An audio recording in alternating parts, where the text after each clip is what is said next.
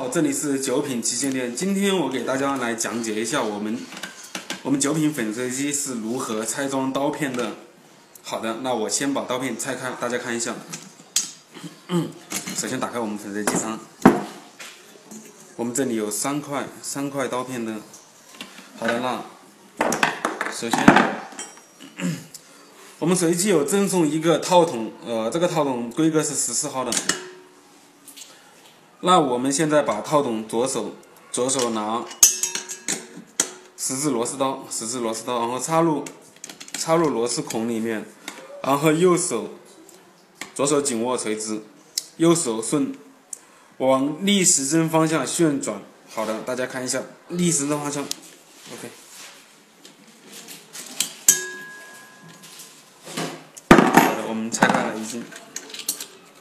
那我们先把按顺序把它拿出来。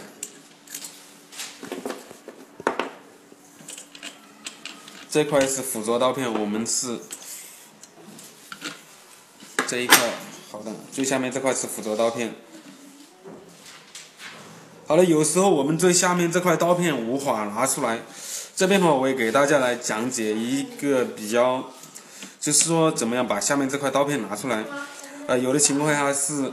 我们可以借助我们的一个拉玛这个工具来打开。如果说没有拉玛这种情况的话，我们也可以把它打开的，就是一个笨办法。好的，那我们把下面四颗螺丝，四颗螺丝拆开。大家可以看到，我们这个实际上我们这个螺丝也是不锈钢的。那大家有时候是为什么要拆更换刀片？呃，就是因为刀片用钝了之后才更换刀片的。有时候大家要把粉碎机舱拆下来的原因就是，呃，有些情况我们因为我们在粉碎一些像一些粘性的，比如说阿胶，比如说那个冰糖这种类型的，再就是像芝麻糊这种，它可能会粘在这个机舱底下无法无法就是说用刷子把它清清除干净的，这种我们就要把机舱拆下来之后来清洗一遍。好的，大家可以看到，刚刚我把那个。刚刚我把这四个螺丝已经拆下来了，那我们现在把它拿出来，稍微用一点力，大家可以稍微用点力，不要用力过猛，用力过猛可能会损坏粉碎机舱的。大家可以看一下这样子。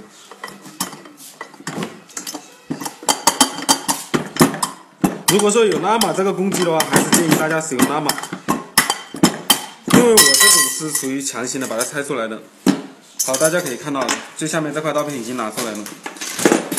那我们最下面的话就是是我们的电机，电机之后还有我们的一个这个简易的这个呃一个垫片，垫片像我们这种我们所采用的这个垫片也是这种硅胶的这种很就说没有异味，是透明的，然后拉伸性也很强的，不像有一些商家他采用的是。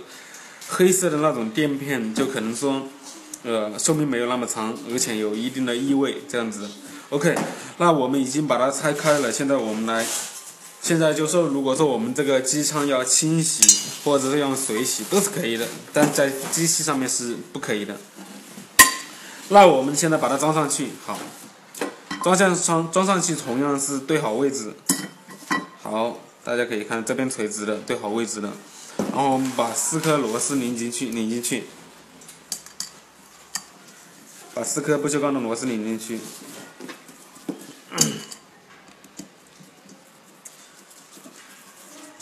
呃，像我们这个刀片，刀片的寿命，刀片的寿命的话，一般就是说，如果说，如果说像经常每天都使用的话，大概可以使用半年，半年左右。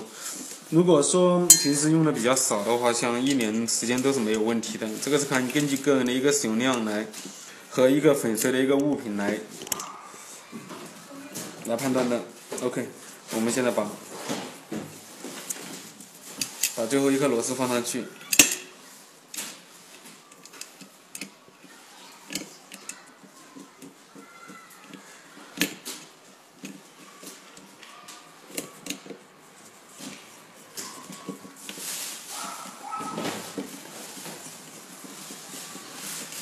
嗯，大家可以看一下我安装的一个顺序，因为有时候我们在在拆这盒装的时候，有一些小细节性的东西最好是不要把它漏掉的，比如说小垫片这种，螺丝垫片这种，千万不要把它漏掉了。像这里有一个垫片是要盖住，盖住这个，以防止我们这个灰尘掉入下面去的。